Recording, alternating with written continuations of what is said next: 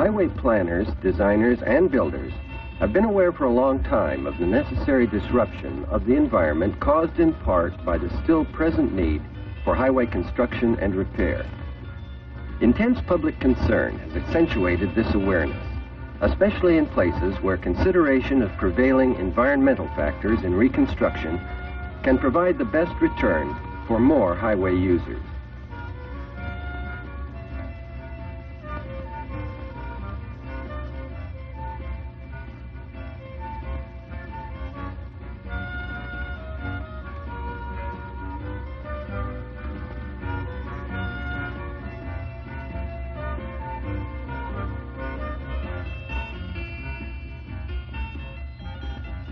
Unusually heavy spring storms in 1969, a section of Route 39, a scenic highway leading into a Southern California recreation area, was severely damaged by several rock slides.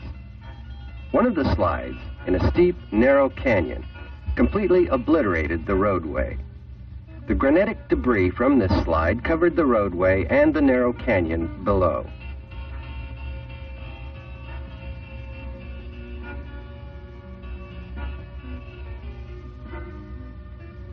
Because of the extent of the slide scar, several conventional methods of repair were at first considered. Building a bridge on piers which would extend through the slide debris to firm footings.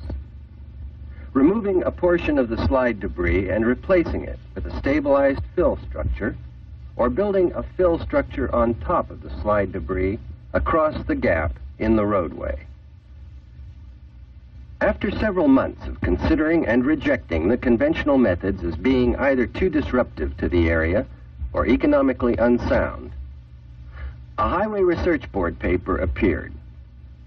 It described a new system of reinforced earthwork reported by a French engineer, Monsieur Henri Vidal. The method provides a means to rebuild the roadway over the slide debris without disruption of the area beyond the already slide-scarred slope. Also, the project would provide California's transportation laboratory engineers an opportunity to study the behavior of the system.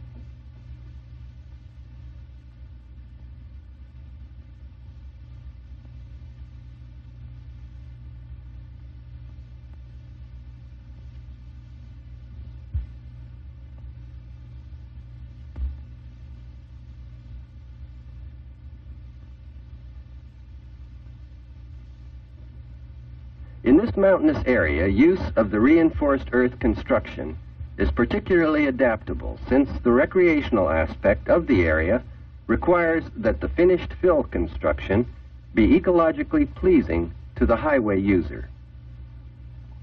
The reinforced earth fill was constructed on top of a random fill embankment founded over the slide debris foundation. A system of surface and subsurface drain pipes was installed to remove surface and seepage water. At the bottom of the slide debris, a toe buttress was built to act as a stabilizing embankment. The overall height of the system is approximately 360 feet. The reinforced earth fill has a maximum height of 55 feet and a length of 528 feet. To understand more about reinforced earth and how it was adapted for Route 39 project, let's look into some of the basic theory elaborated by the transportation laboratory engineers.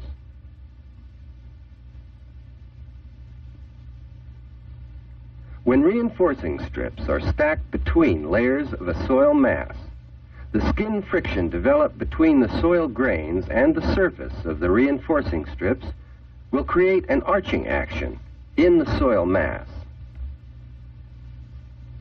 The multiple rows of reinforcements will create numerous arching actions in a vertical plane through the soil mass to act as reinforcing wedges, which greatly increase the internal stability of the soil mass. The reinforcing strips are connected to the skin plate sections which form the outer face of the wall. The skin plate sections provide restraint of the soil layers directly behind the skin plates and between the reinforcing strip layers. The skin plate material must be sufficiently rigid to resist outside shock or impact, yet must be flexible enough to tolerate a certain degree of deformation when the soil mass settles under loading. It must have sufficient resistance to corrosion to endure the design life of the project. The skin plate shape used by Terra Armee, the French firm, is a semi-elliptical element of galvanized steel 3 millimeters or 1 8 inch thick, 10 to 13 inches high, and from 36 to 45 feet long.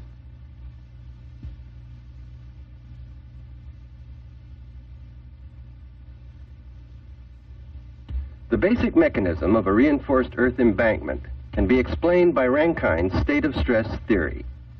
Assuming that an element of cohesionless soil mass is acted on by vertical and lateral stresses, the soil element will be compressed. If the stresses are equal, the element will be compressed equally in both directions. However, if the vertical stresses are greater than the lateral stresses, vertical compression and lateral expansion will result.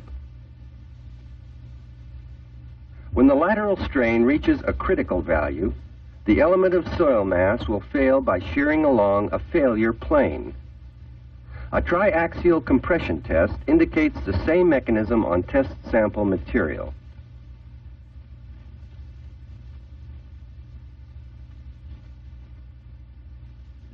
State of stress at imminent failure condition can be described by a Mohr diagram in which point A represents the state of stress where sigma 1 equals sigma 2. In order to hold the soil element from failure, the lateral stress sigma 2 must be increased. By providing a reinforcement in a soil element, the skin friction of the reinforcement will supply additional lateral resistance to hold the soil element from excessive lateral strain. This additional lateral resistance acts as an imaginary end plate at each end of a soil element to prevent failure. The effect of this increased lateral restraint provided by the reinforcements will change the state of stress to a stable condition, as shown by the stress circle, which is well below the strength envelope of the soil with its internal frictional angle. The state of stress developed in a reinforced earth embankment may vary from an at-rest state in the inner portion of the embankment to an active state near the face of the embankment. Using the state of stress indicated, it can be assumed that the maximum frictional forces needed to hold the soil element from failure is equal to the active earth pressure. The frictional forces developed along the skin of the reinforcement is then resisted by the tensile strength of the reinforcement. Thus, the reinforcement must have sufficient strength to resist the earth pressure.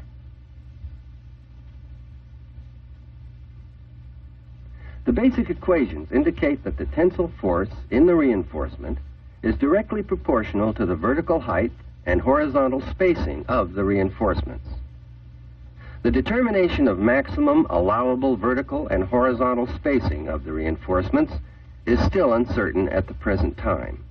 However, it can be assumed that the reinforcements must be closely spaced so that an arch action can be developed within the soil mass between the reinforcements. This arch action, which causes the soil particles to link together without separation, may depend on the size of the soil particles, the skin friction between the soil and the reinforcement, the internal frictional angle of the soil, and the state of stress developed within the soil mass. To summarize, reinforcements must have sufficient length to develop the frictional resistance required to preclude slippage out of the soil mass. They must also have sufficient cross-sectional area to preclude failure in tension. Because the influence of all unknown factors is difficult to determine, the only way of selecting the maximum spacing of reinforcements is through large-scale model tests and field performance studies. However, past experience has shown that rather small-sized reinforcements at relatively close spacing, 5 feet horizontally and 1 foot vertically, are sufficient. To simplify the stress analysis of the skin plate elements, a semicircular section of skin plate with an assumed soil pressure and deformation configuration was used. The vertical load, which represents the resulting force transferred from a vertical pressure acting along an effective length of reinforcing strip, will cause a vertical deformation.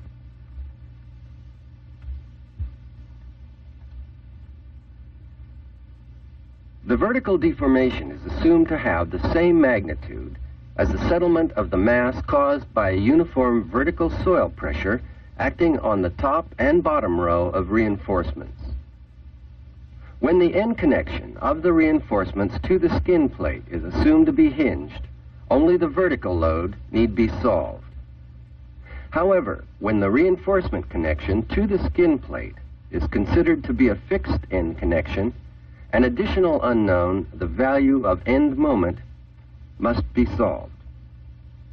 For design purposes, a value of vertical deformation can be estimated from settlements based on field observed data or from previous experience. The equations developed here will be verified by measuring strains and thus stresses at selected points on the skin plate and the vertical deformation in field performance studies and laboratory scale model tests. The overall stability of a reinforced earth embankment under all prospective loading conditions should be analyzed by considering the reinforced earth mass as a solid block or a gravity type of concrete retaining wall. Possible sliding instability and earth pressure developed within the backfill behind the reinforced earth mass, and the potential sliding or bearing failure of the foundation should all be investigated in the same manner as ordinarily done for design of embankments and retaining walls. As a rule of thumb for safety considerations, the ratio of depth to height of a reinforced earth embankment is suggested to be in the range of 0.8 to 1. The footing for the reinforced earth embankment is recommended to be embedded in an excavated or a backfilled berm to one-fifth the clear height of the reinforced earth embankment. The berm width should be at least five feet with an outer slope not steeper than one and a half to one. The detailed analysis of this project on Route 39 has been reported in the January 1972 Highway Focus the durability of the steel reinforcements and the skin plate material is one of the major concerns in design of reinforced earth structures. In general, the life expectancy of the steel strips is governed by the rate of metal loss due to corrosion. R.F. Stratfull, Transportation Laboratory corrosion engineer, has developed a method for estimating relative soil corrosivity combining the relative influences of the hydrogen ion concentration, pH, and the resistivity of the soil. The chart shows the relationship between corrosion rate, the soil resistivity, ohms per centimeter, and the pH value for acid soils and alkaline soils. A thorough investigation of soil samples and the corrosive environment for a given construction site is strongly recommended. Laboratory and field soil tests should be conducted to determine the various factors which affect corrosion. Total thickness of reinforcement should allow for the estimated corrosion losses within the design life of the facility. In certain cases, should the construction soil prove to be excessively corrosive, cathodic protection should be considered. Reconstruction at the slide area on Route 39 began in November 1971 with the partial stripping and compaction of the bottom of the slide debris for placement of a stabilizing toe buttress.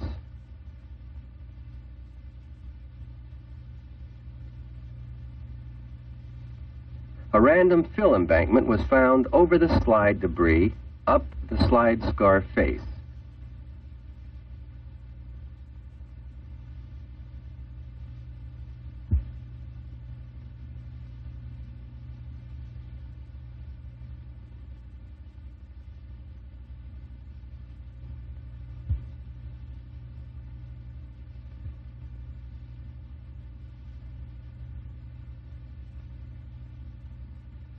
Fill material for the random fill embankment was excavated from a borrow site, one and one half miles from the construction site. The fill material is composed primarily of weathered gneiss. Laboratory tests indicated an internal frictional angle of 40 degrees. The Rankine's coefficient of active earth pressure was calculated to be 0.22, and the at-rest earth pressure coefficient was 0.36.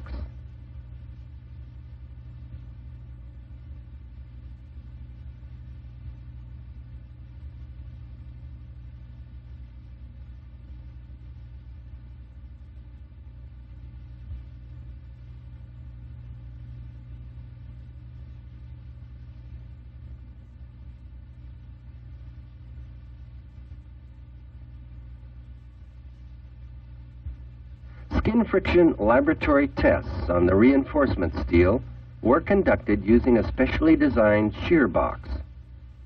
A skin frictional angle of 31 degrees was found between the soil and the steel reinforcement strip.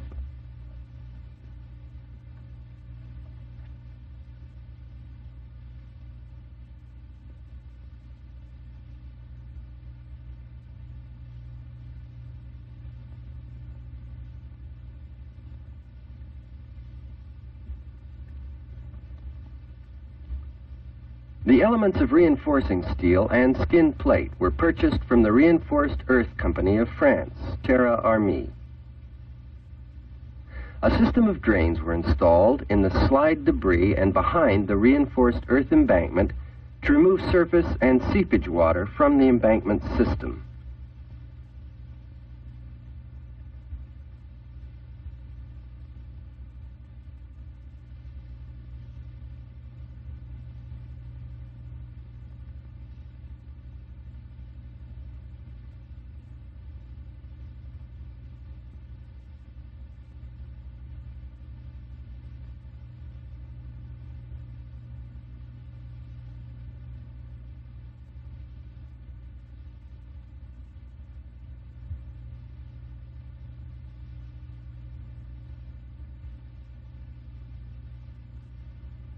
As the random fill embankment progressed up the slide debris, slope indicators were installed at pre-planned locations to monitor movement in the slide debris and the fill embankment.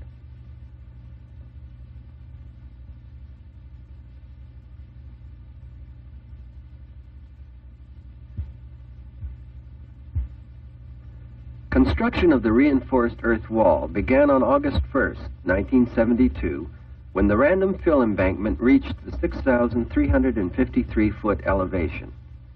The fill area was leveled with approximately a 1% slope downward away from the face of the wall.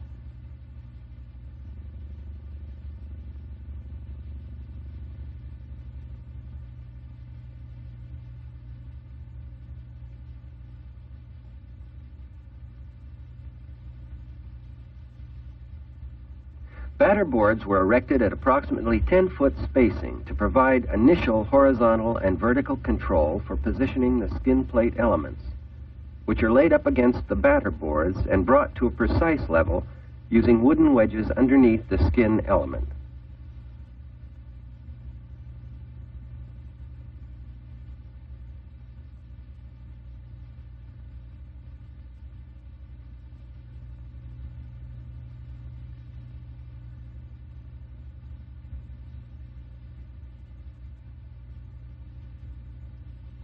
The reinforcing strips were laid out perpendicular to the alignment of the skin plates on the compacted fill.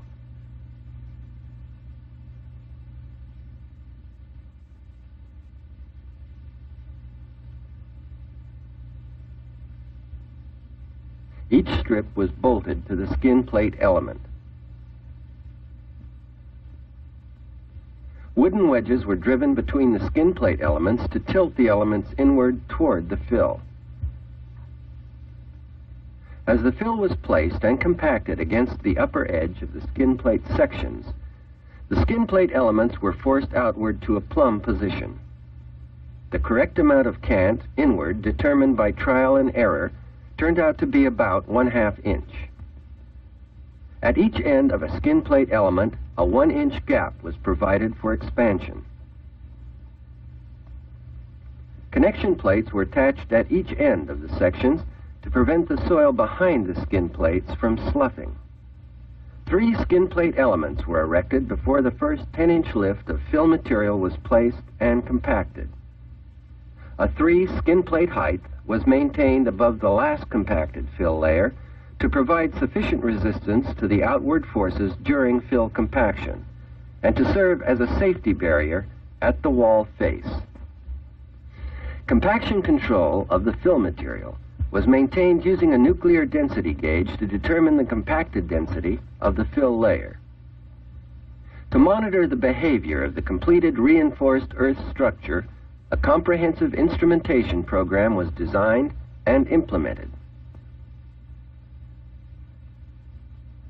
These instruments included slope indicators to measure the internal movement of the embankment and slide debris.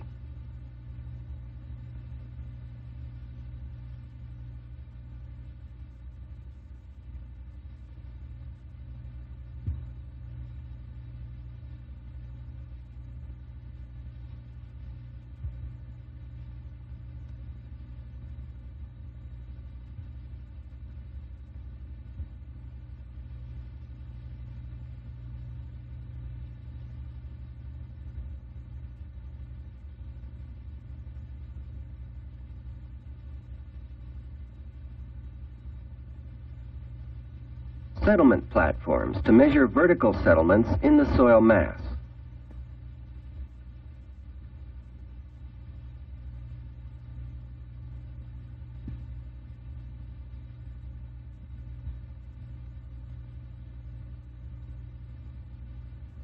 Extensometers to monitor soil strains.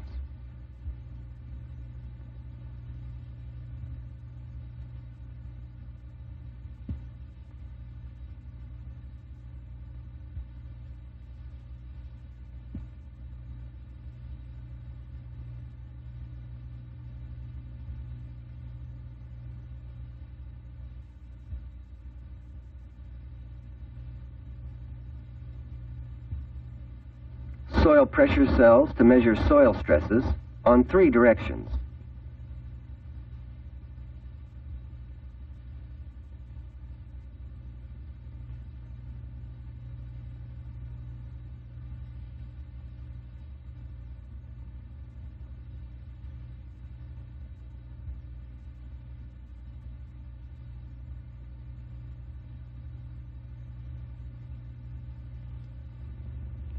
Strain gauges on the skin plates and reinforcement strips to measure stresses developed under loading conditions.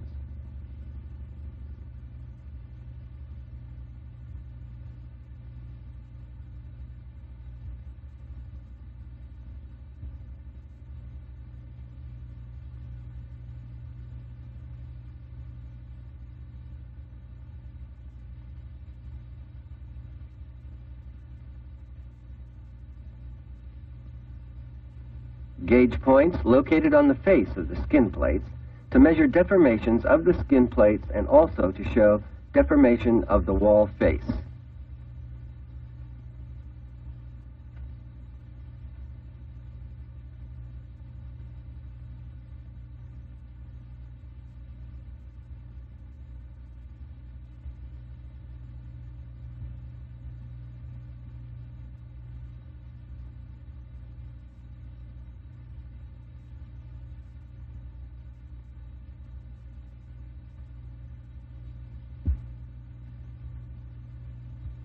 The instrumentation elements were placed in trenches located in selected levels and locations of the reinforced earth fill. The instruments were selected to accurately monitor deformations and stresses of the reinforcing strips, the soil mass, and the skin plates. The reinforced earth fill was completed on October 18, 1972.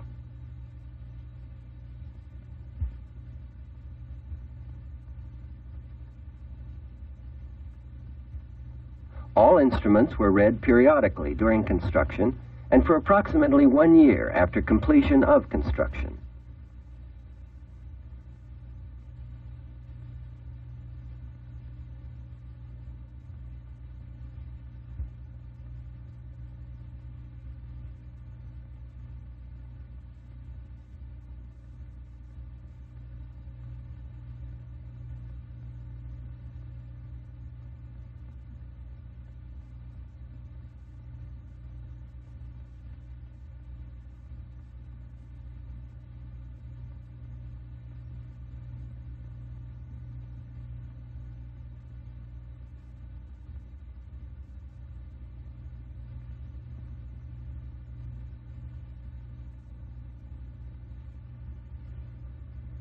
After reviewing the field data obtained from the different elements of instrumentation, the field performance gave the research engineer several clear indications.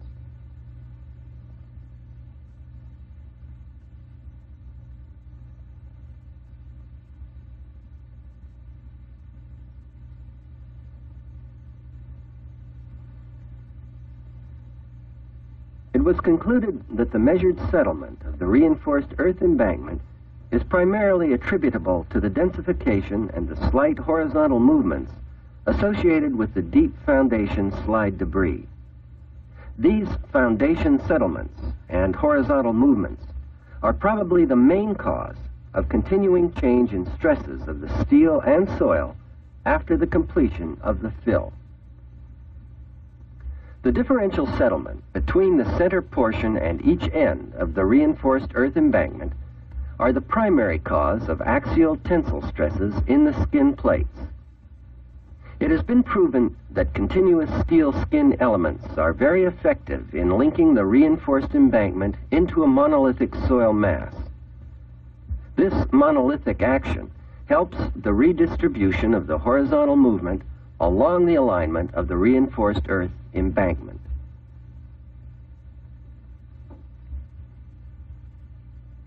The measured vertical soil stresses generally agree with the calculated theoretical vertical earth pressures.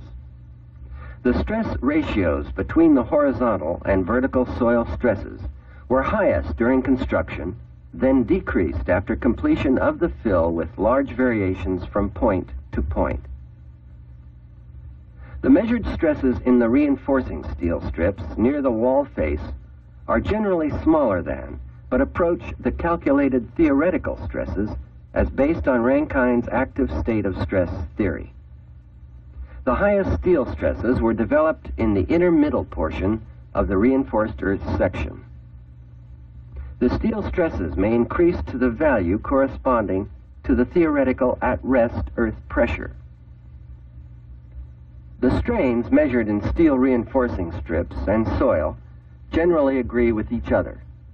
However, the converted steel stresses are mostly smaller than the horizontal soil stresses, a phenomenon which is probably due to the mechanism of the soil arching action.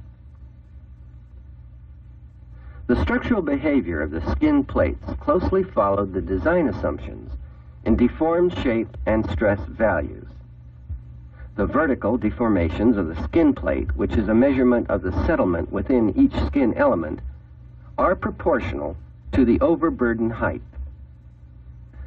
Field pulling test results recorded as the test strips were pulled loose indicate that the load deformation curves resemble the stress-strain curves obtained from laboratory triaxial compression tests on dense sands.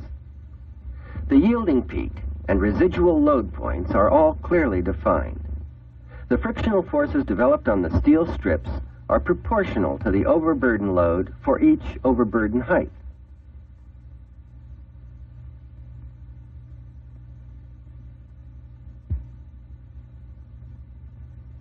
The field-measured skin frictional angle agrees well with the laboratory test results under equal overburden height.